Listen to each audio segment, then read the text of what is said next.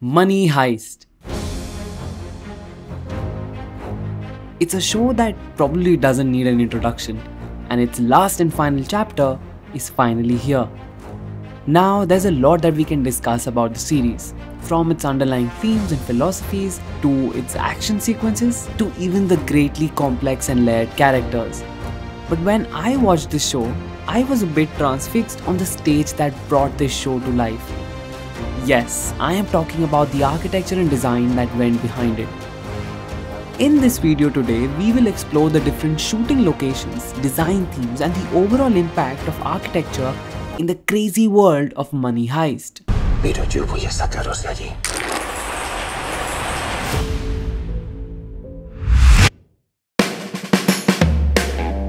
There are a lot of incredible places that we need to discuss in this video.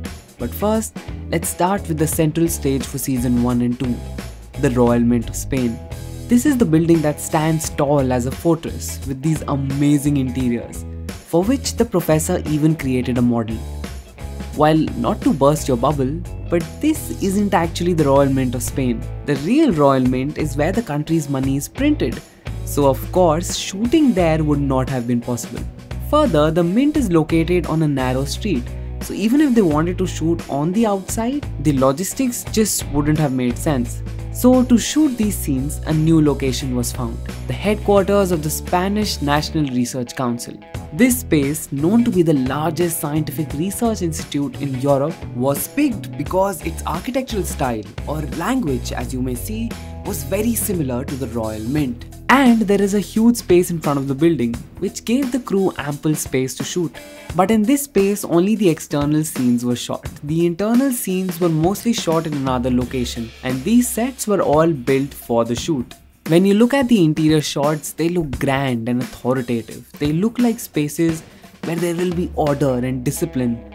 And then, when they created disorder and chaos in a location like this, it took the visuals of the show to a whole new level. But there were two more spaces of this building that were shot on location. The first is the room where the money was being printed. So, remember the heist in season 1 was about printing banknotes and we saw these rooms with giant printers where the plan was being executed. These shots were all shot in the printing rooms of a company called ABC. They had giant machines and the setup was perfect to mimic what printing in the Royal Mint would feel like. Another location that we thought was from the Royal Mint of Spain because of seamless editing were the scenes shot on the roof. Now going to the roof was not possible at the headquarters of CSIC as it does not have a rooftop. Therefore, for these scenes, they went to the rooftop of the Aeronautical Engineering School Madrid and shot these scenes there. One of the most beautiful spaces from season 1 and 2 was the house where all the members of the team stayed and trained for 6 months. It's actually a rental place where wedding banquets are usually held.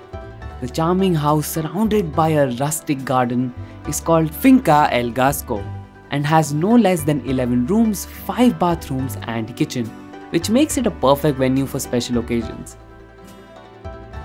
Another location that we see towards the end of season 2 is Philippines, when Raquel goes to find the professor. Well, these scenes weren't actually shot in the Philippines. For those of you who do not know, Money Heist was originally built for the Spanish TV, and it was a total flop there. Netflix then bought it and put it up on its platform, and just like that, without Netflix even promoting it, it went viral. When the ending of season 2 was being shot, the show was actually cancelled. So, for the last scene, the producers didn't have enough money to actually film on location. So, they built a set that would look like the Philippines and CGI'd an ocean. But all of this changed when Netflix bought the show.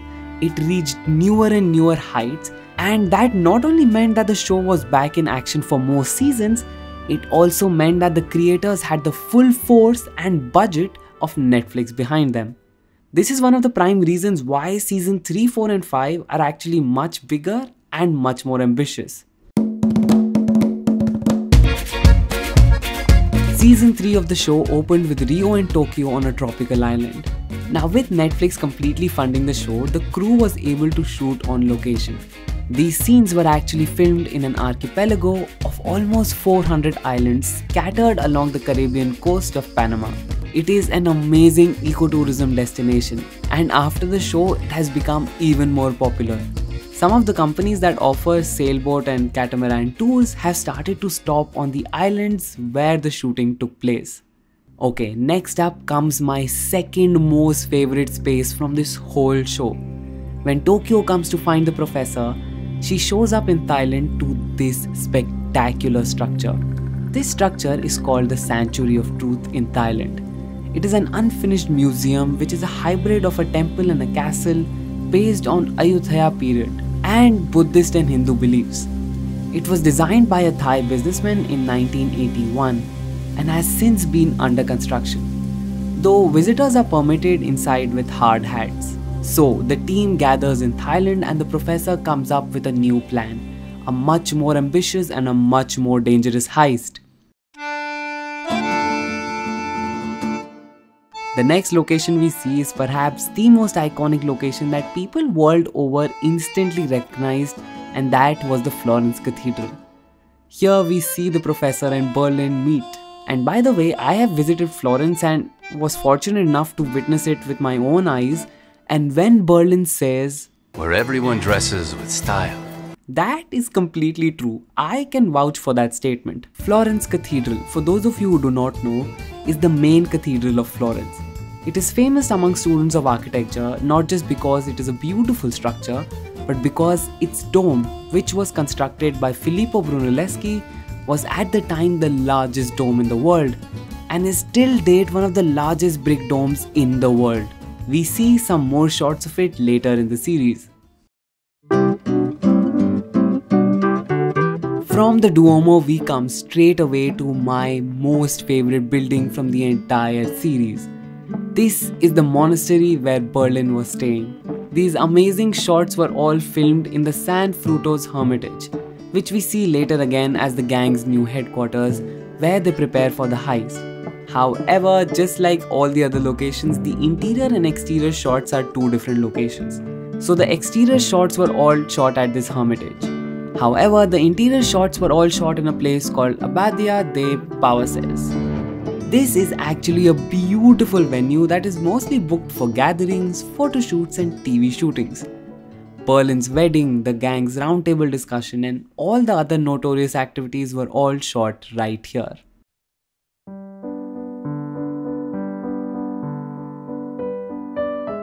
Finally, we see the first step of Professor's new plan Yes, this is the scene where the blimp threw out $140 million in Madrid. These blimps fly over Madrid, and with them, we get glimpses of the skyscrapers located there. We witness the four towers in Madrid's Paseo de la Castellana that prominently constitute the landscape of the city's business area. And finally, it's time to rain money.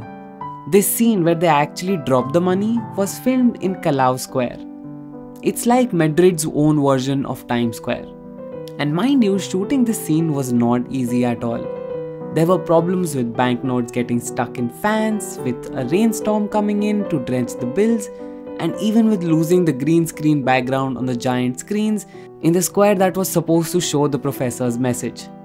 But as we saw in the final cut, they executed it all brilliantly.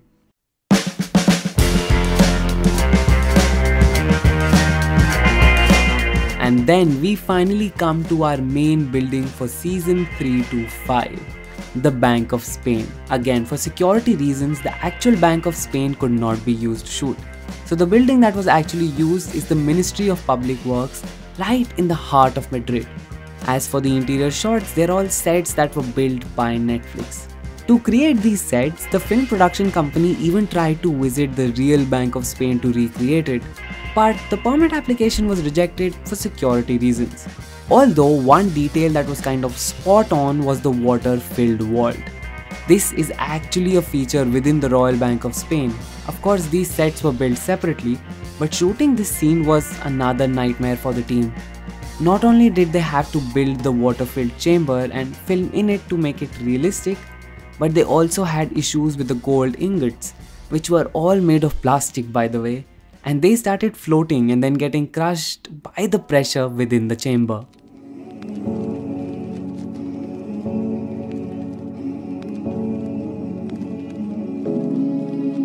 So, all in all, the production designers did a beautiful job creating and scouting locations for this show.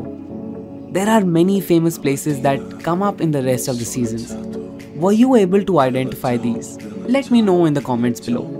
So, that was the architecture within Money Heist. Have you seen any of these locations in real life? And which was your favorite from all the locations and sets discussed? Let me know in the comments below. As always, before leaving, do not forget to give this video a thumbs up. Don't forget to share and subscribe to BlessedArch. You can also support this channel via Patreon. The link can be found in the description below.